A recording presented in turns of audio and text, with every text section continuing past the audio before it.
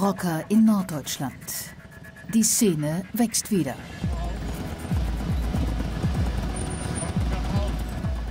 Neue, gewaltbereite Gruppen sind entstanden, die immer selbstbewusster auftreten. Die Neuen fordern die alten Machthaber heraus, die Hells Angels. Kampfansagen, auch über die sozialen Netzwerke. Keine Kopfsache. Kommt zu mir, bringt die Sachen zurück. Ich verspreche euch, ich alleine gegen euch drei. Die Folgen, eskalierende Gewalt, Schüsse auf offener Straße. Wie gefährlich sind die neuen Rockergangs?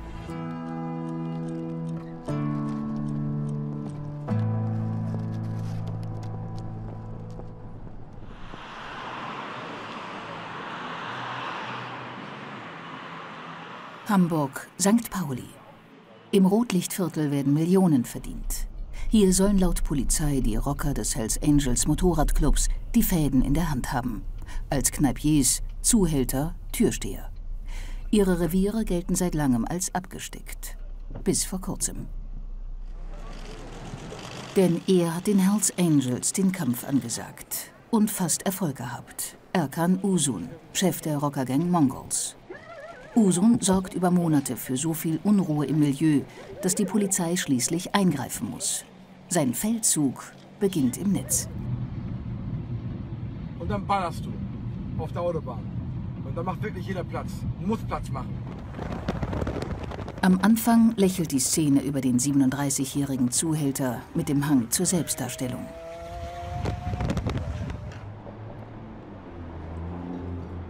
Aber dann wird es ernst.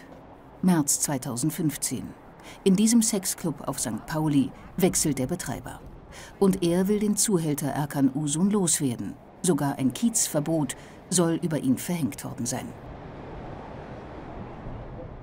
Usun will das nicht hinnehmen. Er macht die Hells Angels für seinen Ausschluss verantwortlich.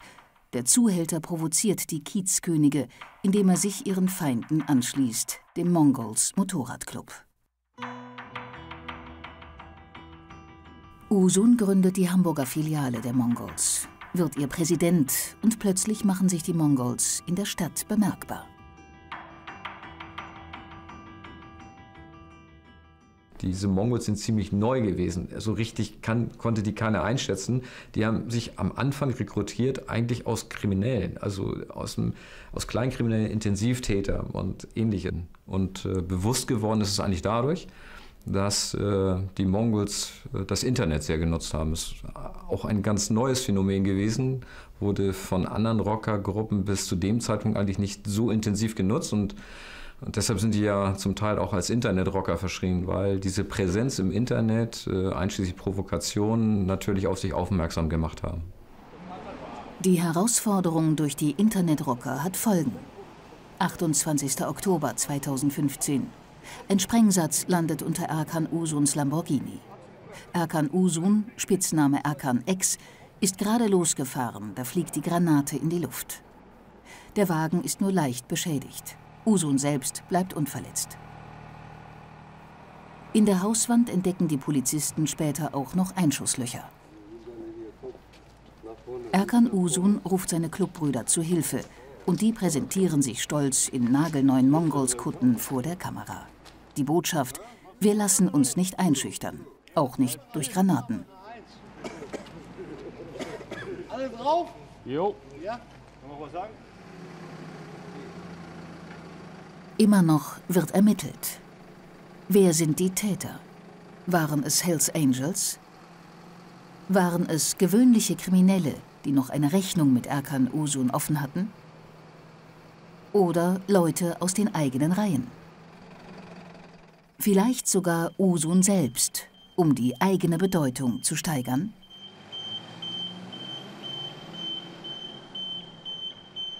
Ein Anschlag in der Öffentlichkeit. Jederzeit hätte auch ein Anwohner aus dem Haus kommen und durch herumfliegende Metallsplitter verletzt werden können. Noch in der Tatnacht reagiert der Mongols Präsident im Internet. Großspurig setzt er eine Belohnung von 500.000 Euro aus für, so wörtlich, den Namen der Person, der die Bombe angebracht hat. Und tönt weiter, eine Bombe reicht nicht, mindestens vier an jede Felge. Er hat sich Brandzeichen ins Gesicht tätowieren lassen. MFFM auf beiden Wangen. Mongols Forever, Forever Mongols.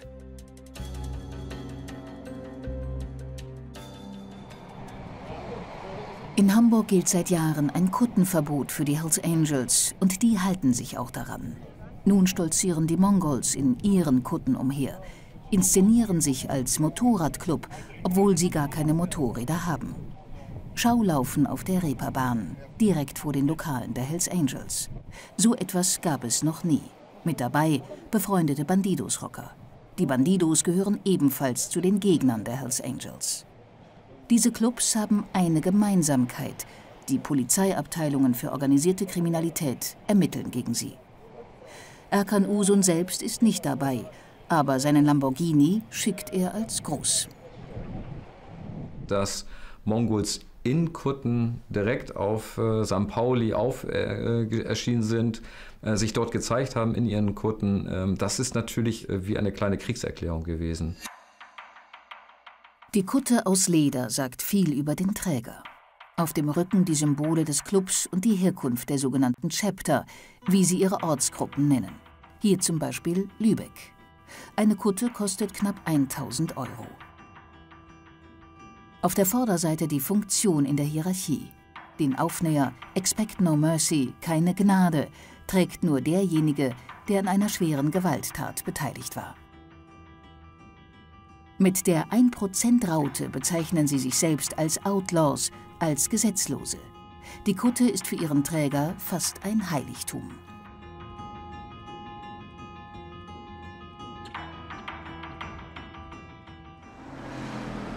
November 2015, nach der Machtdemonstration der Mongols. Erkan Usun wird in seiner Wohnung überfallen. Seine Kutte wird geraubt. Die Täter stammen aus dem Umfeld der Hells Angels, ermittelt die Polizei. Also der, der Raub einer Kutte, einer Präsidentenkutte, das ist die Höchststrafe, die ja eigentlich ein Präsident äh, erhalten kann. Hier hat man das äh, nochmal getoppt, indem man äh, dann die auch noch präsentiert hat äh, auf dem Kiez und das auf äh, YouTube eingestellt hat, also in sozialen Medien eingestellt, damit es dann auch jeder sehen kann. Ein transsexueller Mann in der geraubten Kutte von Erkan Usun, mitten auf der Reeperbahn. Usun soll öffentlich gedemütigt werden. Ich liebe Schwänze. Ich liebe Schwänze. Die Hersteller des Videos meinen, ihren Rivalen nun mundtot gemacht zu haben. Aber Usun provoziert weiter, in der Kutte seines Stellvertreters. In meine Kutte. Meine Kutte ist nicht ich, Alter. Meine Kutte bin ich, okay? Ich bin mein Stolz. Und ich brauche keine Kutte, um Mann zu sein. Das war ich vorher, das bin ich jetzt. Und ihr Notenkinder, hört mir genau zu, Alter. Ich mache keine Fremden verantwortlich. Soll ich einer kleinen verfickten kleinen Junkie-Fotze von Trans auf die Fresse hauen, weil ihr ihr Schwanz nutzt, Alter, und ihr die Kutte gibt und ihr Sicherheit zusagt, die ihr nicht halten könnt, ihr Notenkinder. Ihr seid Fotzen und bleibt es immer in eurem Leben. Erkan Usun hat den neuen Rockerkrieg in Hamburg vom Zaun gebrochen. Anfang Dezember 2015 reicht es der Polizei. Eine Hamburger Spezialeinheit stürmt seine Wohnung. Zum dritten Mal innerhalb nur eines Jahres. Wie bei den beiden Durchsuchungen zuvor entdecken die Ermittler Waffen und Rauschgift. Usun ist nur auf Bewährung frei.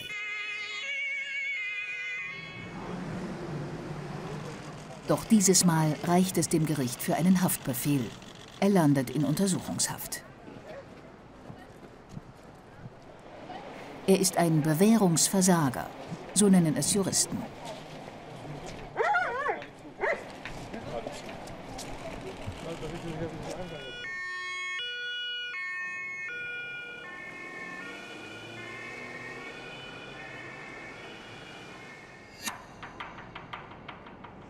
Der Rockerchef sitzt im Knast. Die nun führungslosen Mongols treffen sich zur Krisensitzung. Wollen sie weitermachen, müssen sie einen neuen Präsidenten küren. Sie versammeln sich in Kutten, in einer Traditionsgastronomie am Hamburger Jungfernstieg. Kevin Schröder wird neuer Chef-Mongol. Der Hamburger ist schon seit seiner Jugend Polizei bekannt und hat einen Hang zum Größenwahn.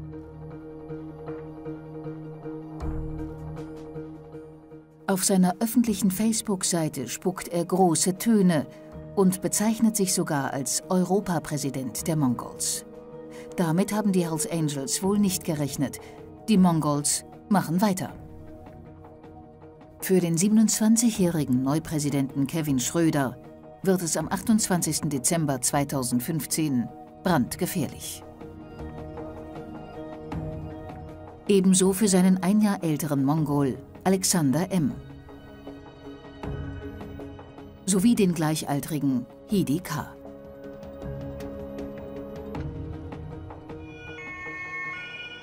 Ausgerechnet gegenüber einem Großbordell, in dem die Hells Angels agieren sollen, treffen sich die Mongols in einem Restaurant. Plötzlich tauchen Hells Angels vor dem Lokal auf. Das macht den Mongols Angst. Drei der Mongols rennen über die Reeperbahn auf ein Taxi zu. Es fallen Schüsse. Das bekommt auch der Bruder des Taxifahrers mit.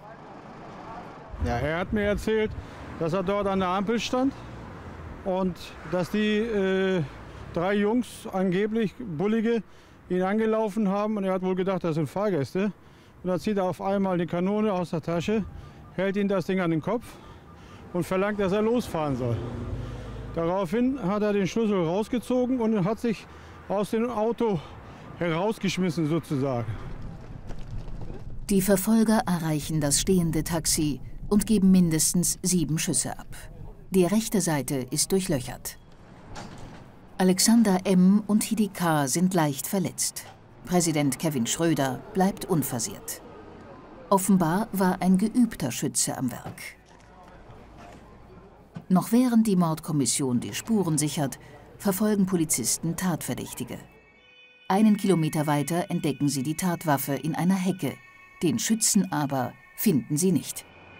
Fakt ist aber, dass wir äh, im Rahmen der Sofortfahndung an dem Abend noch äh, fast das komplette Chapter von dem Hells Angels Chapter Southport dort angetroffen haben. Also spricht vieles dafür, dass das dann auch tatsächlich aus diesem äh, Bereich kommt, diese Tat, aber im Moment der Nachweis, den haben wir noch zu führen.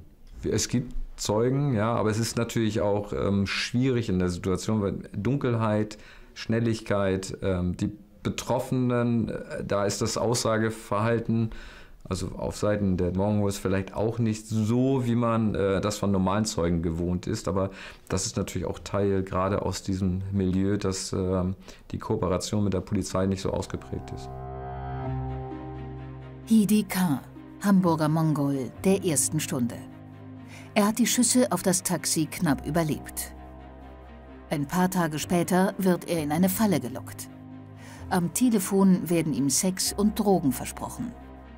Er fährt zum vermeintlichen Liebesnest, einer Gartenlaube. Da warten schon die Täter, schlitzen ihm Gesicht und Beine auf. Den Bewusstlosen kippen sie ein paar Kilometer weiter aus dem Auto auf die Straße. Tatverdächtig vier Männer und zwei Prostituierte aus dem Umfeld der Hells Angels.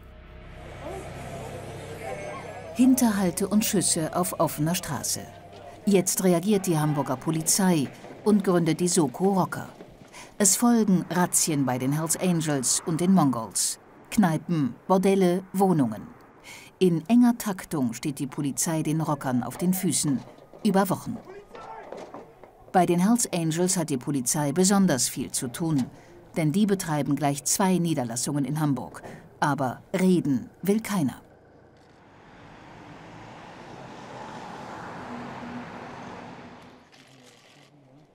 Auch Darius F. nicht, ehemaliger Bundeswehrsoldat, ein Hells Angel aus der Führungsriege. Er wird festgenommen. Nach wenigen Tagen ist er wieder frei. Im Zuge der Razzien stoßen die Fahnder bei den Hells Angels auf brisante Firmenunterlagen.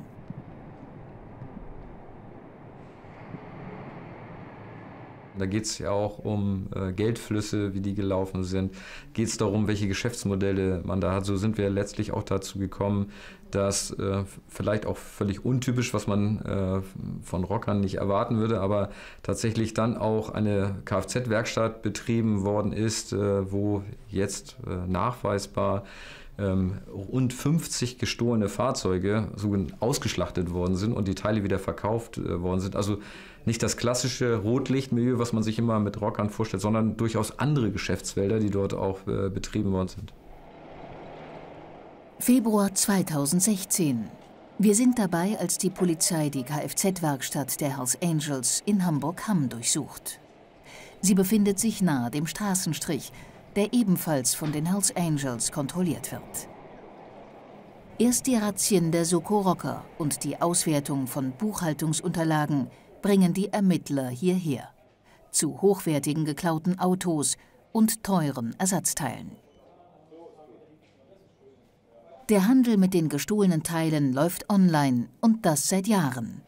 Geschätzter Schaden rund 2 Millionen Euro. Ein weiteres kriminelles Unternehmen, der Hells Angels GmbH.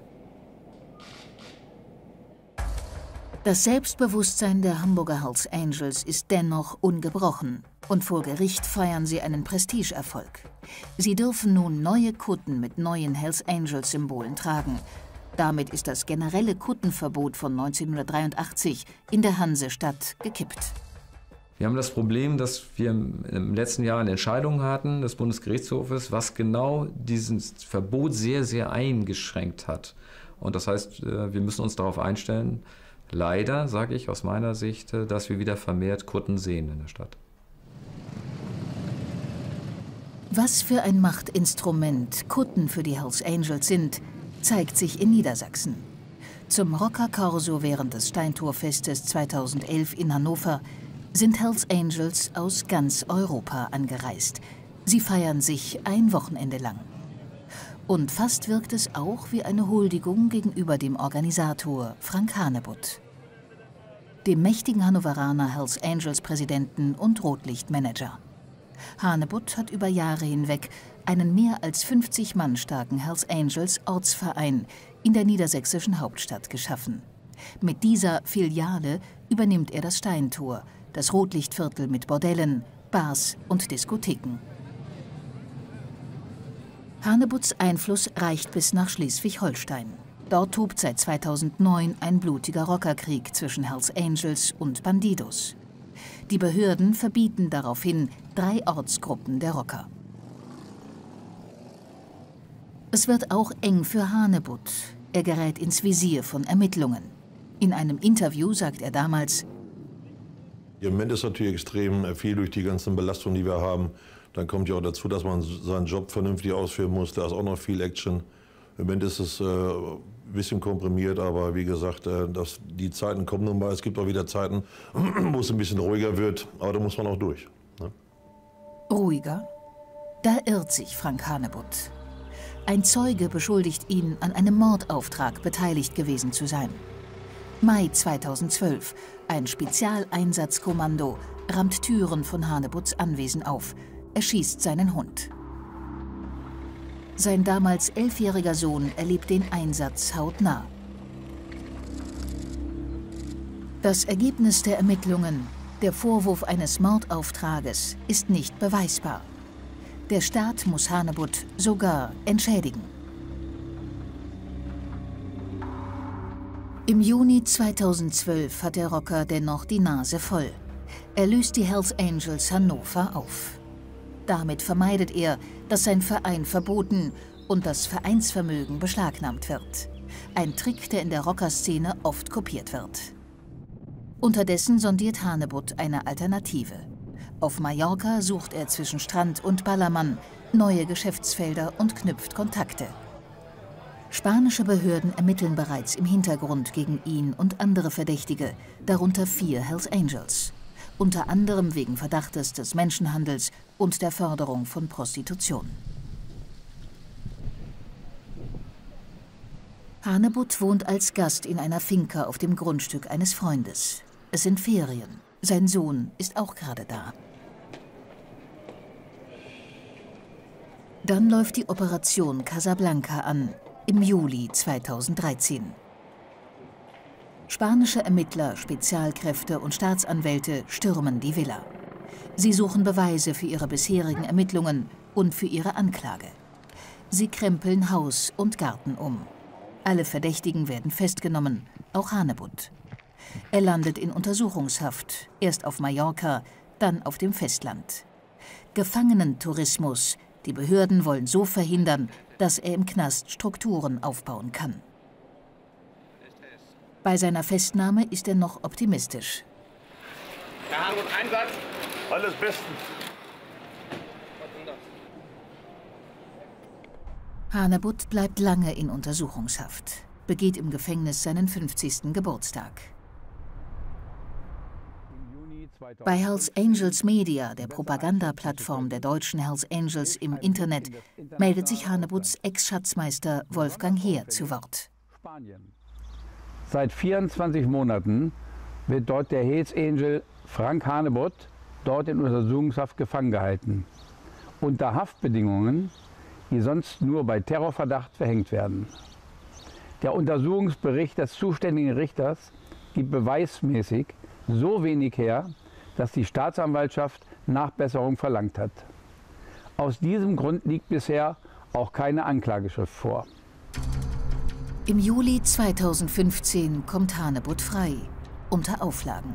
Er darf Spanien nicht verlassen. Bis Frühjahr 2017 muss klar sein, ob er angeklagt wird oder nicht. Hanebut entdeckt die sozialen Medien, kommuniziert via Facebook mit seiner Fangemeinde. Bedankt sich für den Zuspruch in der Haftzeit. Ein Fernsehinterview will er nicht geben, antwortet auf unsere Anfrage. Da ich mich im Moment in einer besonderen Situation befinde, werde ich mich zu irgendwelchen Entwicklungen der Motorradszene nicht äußern. Grüße aus Mallorca, Frank Hanebut. Mitglieder seines ehemaligen Clubs schicken ihm ein Foto. Er nutzt es sofort für seine Seite. Alle Mitglieder in Kutten vor dem Hannoveraner Rathaus. Ein klares Signal. Wir sind noch da. Und tatsächlich, im Juni 2016 gründen sich die Hells Angels in Hannover neu. Drei Jahre nach der Selbstauflösung. Dieses Mal heißen sie Northgate Hannover und fahren in ihren neuen Kutten durchs Steintorviertel. Möglicherweise ein Statement. Kommt Hanebut zurück nach Hannover, ist der Boden für ihn bereitet. Aber noch sitzt der Rockerboss auf Mallorca fest. Die Insel wird zur Pilgerstätte. Hells Angels aus ganz Deutschland machen ihre Aufwartung. September 2016. Die spanische Justiz gewährt Hanebut eine Woche Heimaturlaub. In Hannover bejubeln ihn seine Rocker wie einen Popstar.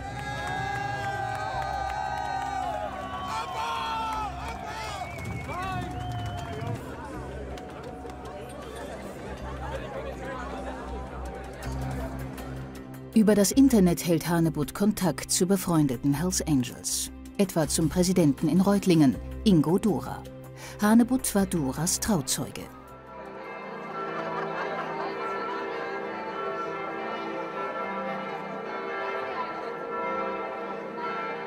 ...2012 in Baden-Württemberg.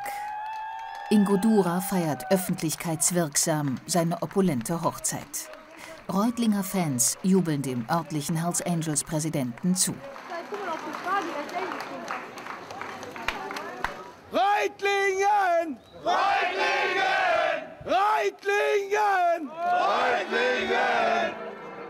Hells Angels aus aller Welt sind zu Gast. Der Brautführer wird sogar aus dem Mutterland der Hells Angels aus den USA eingeflogen. Doch das junge Eheglück ist nur von kurzer Dauer. Wenig später wird Dora festgenommen.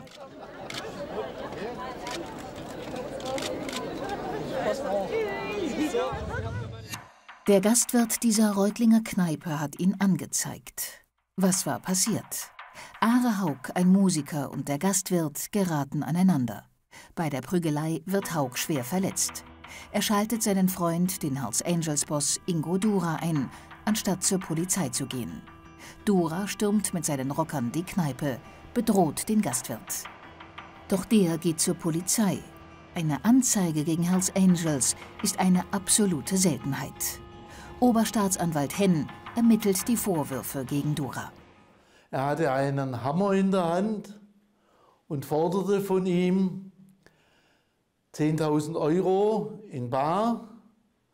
Er forderte weiter von ihm, dass er seine Gaststätte für Merchandising der Angels zur Verfügung stellt und wollte schließlich noch, dass er ein Fest zugunsten des Musikers ausrichtete.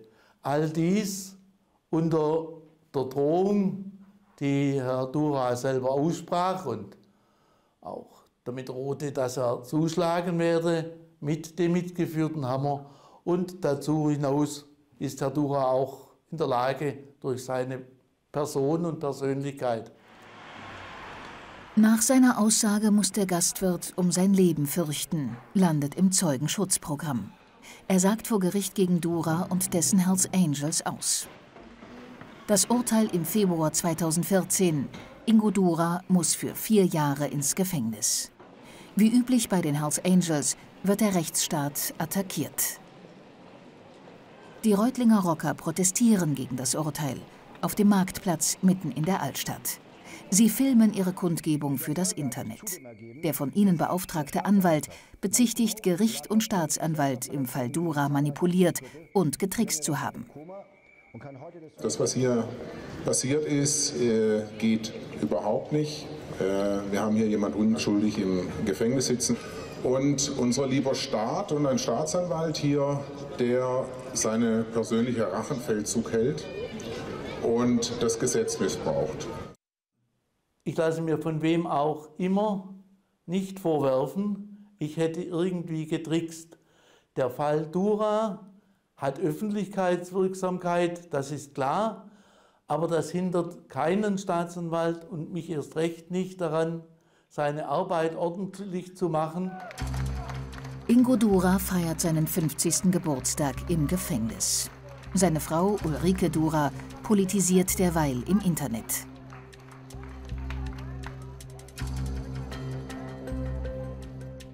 Dort agiert sie nicht als Ulrike, sondern als Angel Dora. Angel, so nennen sich üblicherweise nur die Mitglieder des Hells Angels Motorradclubs. Angel Dora hetzt gegen Flüchtlinge auf ihrer öffentlichen Facebook-Seite, postet rechte Parolen wie wenn man hier im Lande so schnell Kindergärten, wie man gerade Asylbewerberunterkünfte bauen kann, das wäre doch auch mal toll, oder? serviert ihren 234 Abonnenten seriös wirkende Artikel, die sie auf Nazi-Plattformen findet. Und unterstützt die Pegida-Bewegung aus Baden-Württemberg. Auf unsere Interviewanfrage reagiert sie nicht. Verwaist und geschlossen, das Hells Angels Clubhaus in Reutlingen. Seit neuestem sitzt auch Duras Stellvertreter, sein Vizepräsident, in Untersuchungshaft. Der Verdacht, er soll mit Drogen gehandelt haben. Die Rocker in Reutlingen sind ohne Führungsebene. Nur das Bordell von Dura macht weiterhin gute Geschäfte. Hier scheint es mit dem Stellvertreter zu funktionieren. Um die Hells Angels Reutlingen hingegen ist es leiser geworden. In der letzten Zeit ist es, was die Hells Angels Reutlingen angeht, auf der Straße ruhiger geworden. Sie treten weniger auf und es gibt auch, wenigstens soweit es mir bekannt ist, keine erheblichen Vorfälle mehr, die im Zusammenhang mit den Angels stehen. Die Angels also auf Tauchstation in Reutlingen.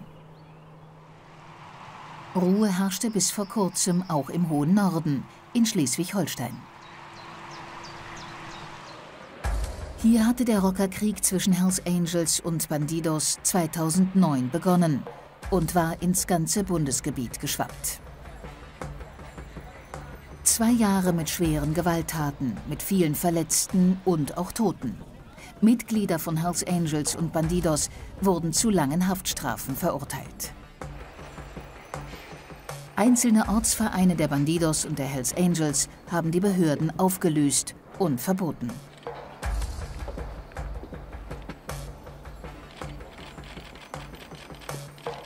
Also wir haben ja seit 2010 in Schleswig-Holstein drei Gruppierungen verboten und haben durchgehend eigentlich bei diesen Gruppierungen auch festgestellt, dass das ähm, Tragen der entsprechenden Insignien ähm, unterlassen wurde. Das heißt, mit ähm, Aussprechen des Vereinsverbotes ist es ja verboten, in der Öffentlichkeit diese Vereinsinsignien weiterhin zur Schau zu stellen.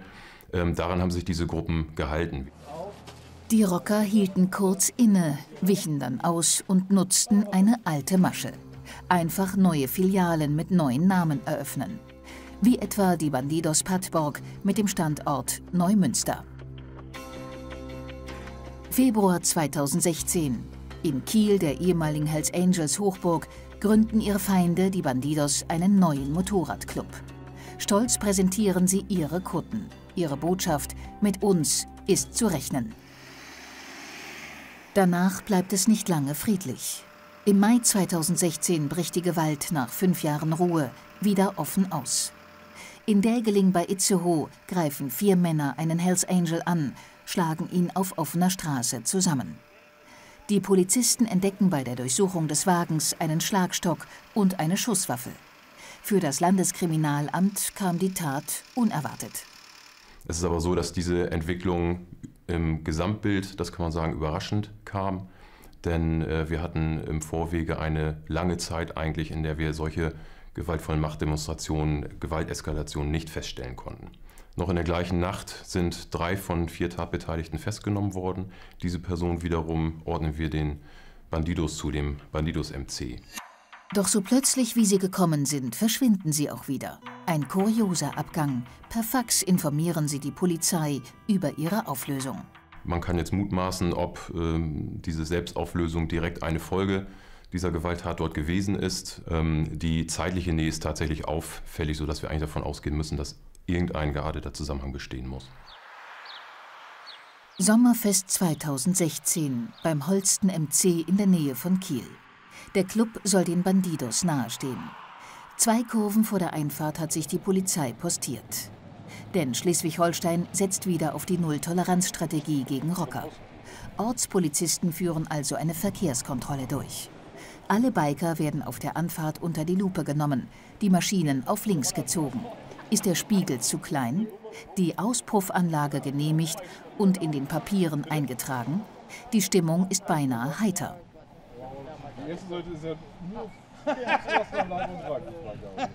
Das ändert sich schlagartig. 13 Mitglieder des North Clan MC tauchen in der Kontrollstelle auf.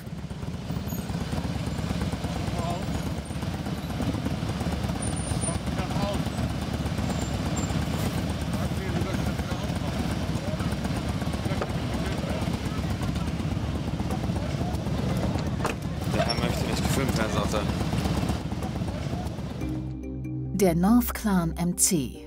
Seine Mitglieder sollen mal mit den Hells Angels, mal mit den Bandidos sympathisieren.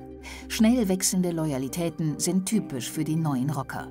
Sie wollen nicht gedreht werden, obwohl sie fast komplett vermummt sind. Wirklich erstaunlich, ausgerechnet Rocker wenden sich nun hilfesuchend an die Polizisten. Bitten um Beistand bei der Wahrung ihrer Persönlichkeitsrechte. Und die Polizisten Sie weisen uns an, unsere Kamera auszustellen. Dann macht die Polizei weiter mit der Kontrolle der Vermummten.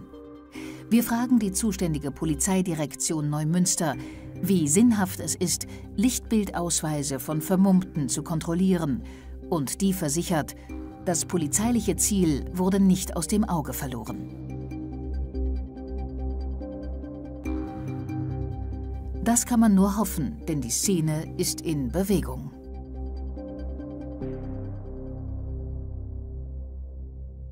Wir stellen aber auch fest, dass ähm, in der Tat äh, diese Support-Tätigkeit wechseln kann, äh, dass Gruppen, die ähm, vormals ähm, eher dem Hells Angels MC zugeneigt waren, unter Umständen sich umorientieren.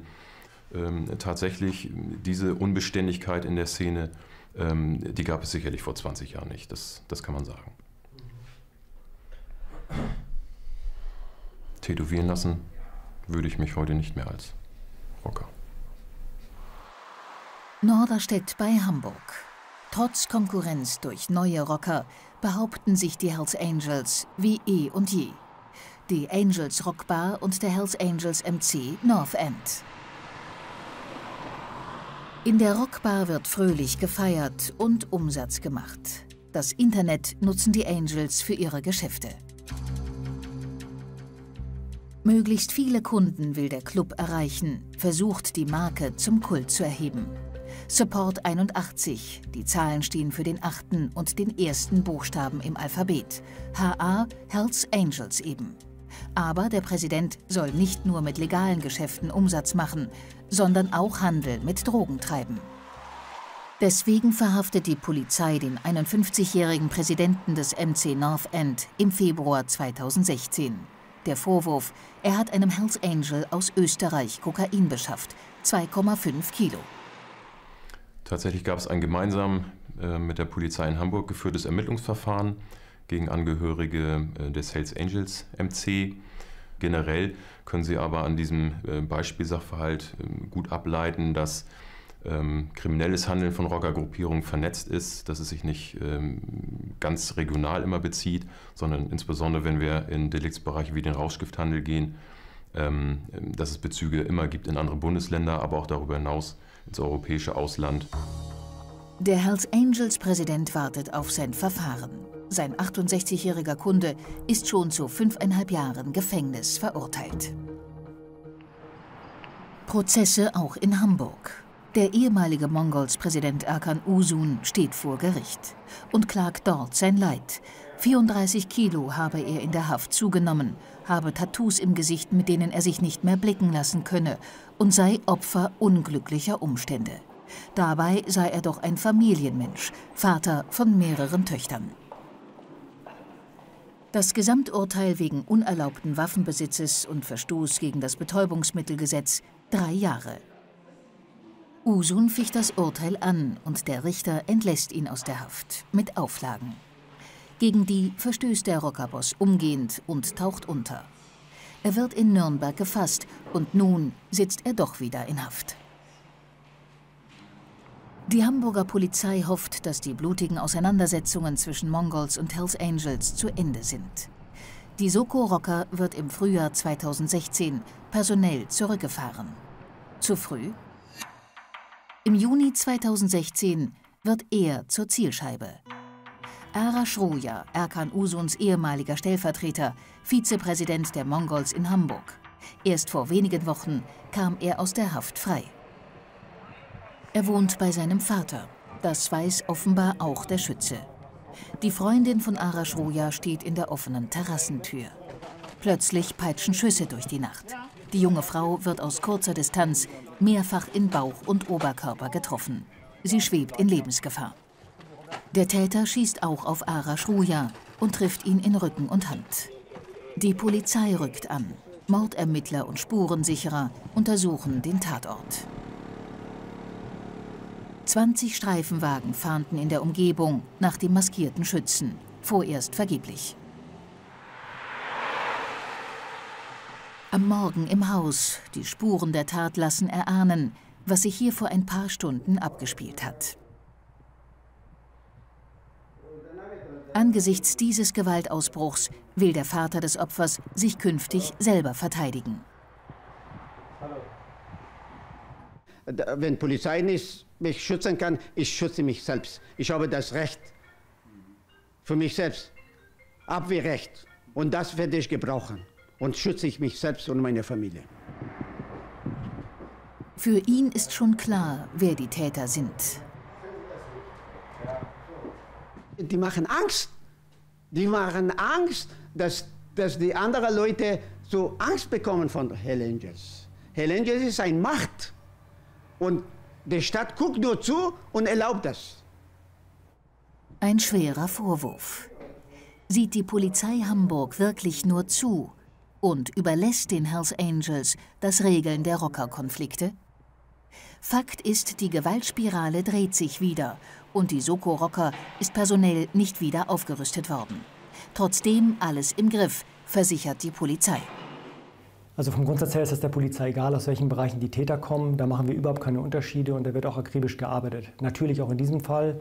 Es ist deshalb schwierig, äh, in den Ermittlungen voranzukommen, weil wir wenig Zeugen haben, die dort uns kooperativ zur Seite stehen. Das heißt also, wir müssen über die Kriminaltechnik gehen, wir müssen dort die Sachbeweise zusammensammeln. Das dauert, das dauert etwas länger, aber die Soko Rocker ist da dran und wir sind auch zuversichtlich, dass wir diesen Sachverhalt aufklären können. Der Täter ist noch nicht gefunden. Die Polizei muss das Opfer Arash Ruja im August 2016 festnehmen. Er soll eine Frau mit seiner Pistole bedroht haben. Fazit: Die Mongols haben versucht, an der Macht der Hells Angels in Hamburg zu kratzen und sind gescheitert. Sie befinden sich in Auflösung. Mittlerweile ist auch der letzte Präsident Kevin Schröder in Haft. Einige der ehemaligen Mongols suchen sich jetzt einen neuen Club, die Osmanen Germania. Martialisch, so präsentieren sich die Osmanen Germania im Internet. Sie ziehen vor allem türkischstämmige Männer an. Eine ethnisch ausgerichtete Gang. Ein neuer Trend in der Rockerszene.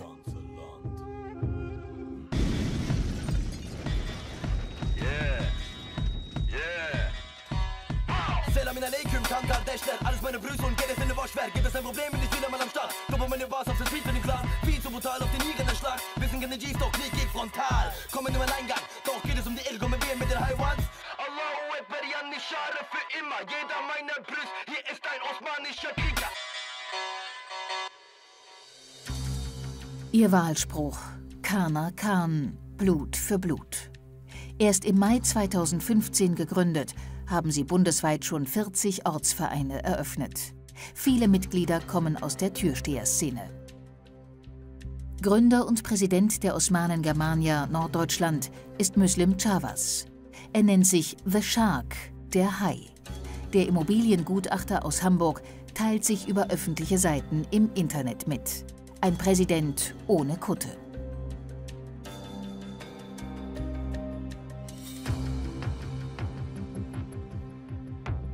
Ein Boxclub wollen die Osmanen Germania sein und keine Rocker, versucht der Präsident zu beschwichtigen. Dennoch, sie haben dieselben Strukturen und die Kutten sind denen der Rocker zum Verwechseln ähnlich. Interviews gibt der Norddeutschland-Präsident nicht. Zu verabredeten Treffen erscheint er auch nicht. Stattdessen verkündet Muslim Chavas stolz, die Familie wachse täglich. Eine schöne Familie, zwei Drittel sind polizeibekannt. Das ist das, was auch viele junge Leute, die natürlich kriminell sind, viele Kriminelle darunter, ähm, auch suchen. Gemeinschaft, aber auch klare Linien bekommen. Äh, was soll ich tun? Wie soll ich es tun?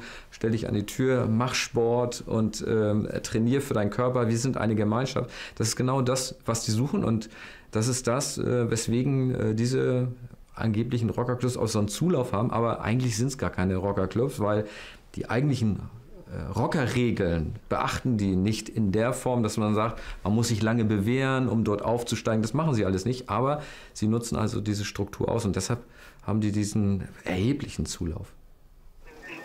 Mai 2016. Auftritt einer Gruppe Osmanen Germania Hamburg. Eines ihrer Mitglieder ist auf der Flucht vor der Polizei mit dem Motorrad verunglückt und schwer verletzt.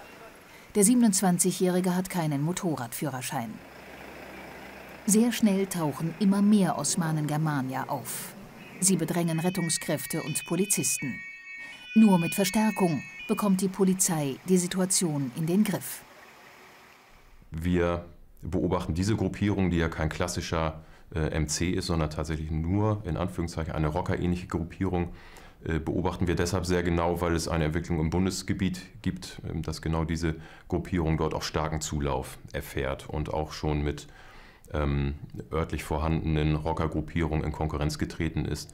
Und es kam auch schon in diesem Bereich natürlich zu den erwarteten Straftaten. Ob Osmanen Germania oder andere neue Rockergangs, ihre Mitgliederzahlen steigen rapide.